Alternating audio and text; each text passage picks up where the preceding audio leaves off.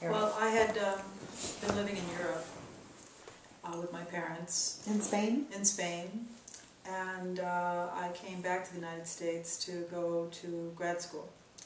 And I went to, I got accepted to Cal State University Long Beach uh, for the uh, fall of 2000, um, 1975, a long time ago. And uh, I came into town and uh, began my work at school in the printmaking department. And there was a Chicano named David Starr. As a matter of fact, at that time, John Valadez and uh, Leo Limon were at Cal State Long Beach as well. And um, David told me that he knew of a nonprofit in uh, downtown Los Angeles that was looking for art teachers.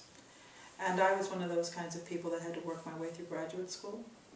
And at the time I was doing factory work and modeling for art classes and bussing tables. So teaching art seemed like a very nice opportunity for me, and I was very happy. And so I put together my portfolios, and I remember that I had a, a, a spring, summer, and fall portfolio where there was different works and different portfolios depending on what I was working on in that season. And I went up to meet Sister Karen Boccalero at Self Help Graphics. At that time it was located at 2111 Brooklyn Avenue.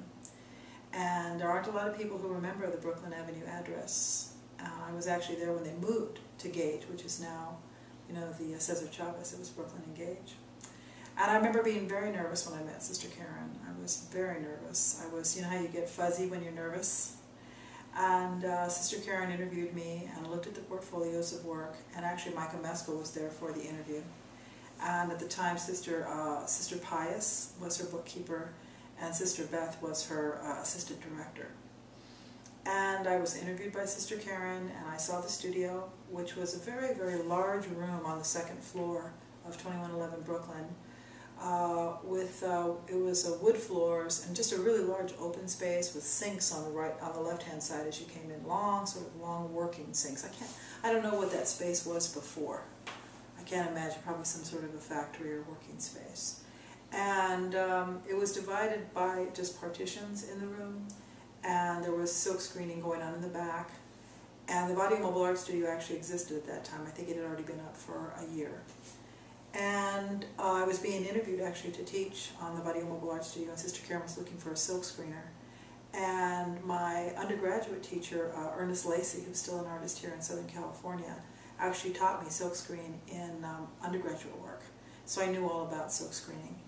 And because I came from Spain, um, had been living in Spain, I spoke Spanish. And uh, so I was hired for the opportunity. And Sister Karen was very kind to me. Uh, I always had a very close relationship with her because she was a printmaker as well, and an artist, and she loved being an artist, and so do I. So we always had very good conversations about the artistic process, the creative process. And uh, I worked on uh, Mobile Art Studio as a part of the California Arts Council grants. And uh, at that point, uh, who was on as a matter of fact, there is a name that I need to give to you later because there was another artist that was on the Barrio Mobile Art Studio at that time that I think you should talk to as well. Michael Amescua and I were basically on the Barrio Mobile Art Studio along with another artist that changed. That person changed, but he and I were there for, I think we were on the Barrio Mobile Art Studio for a good five years, total five years. And um, it was a very interesting experience because Sister Karen was very um, uh, adamant about including um, Mesoamerican and Mexican uh, iconography and history in teaching young people in East LA. And so you had young, lots of young Chicanos, young Mexican Americans, young Latinos that enjoyed learning about Mexican history and making imagery that was um, reminiscent of iconography of Mexico. And uplifting, right? It was very uplifting for everyone. I mean, we all learned a great deal about ourselves and about the culture. And Sister Karen gave us an avenue to be able to teach what we were learning to other children. At that point, my husband and I were traveling to Mexico a great deal. I got married almost immediately afterwards. I started working at Self Help Graphics in early 1976, and Ron and I got married in June, in August of 1977. So we were traveling to Mexico and collecting books, because there weren't very many books in the libraries anywhere in Southern California that were in English, uh, written by, uh, uh, translated from Spanish, about Mesoamerican, about Mexican history. So I collected a lot of books that we used in the Barrio Mobile Art Studio. And uh, it was a wonderful experience. Uh,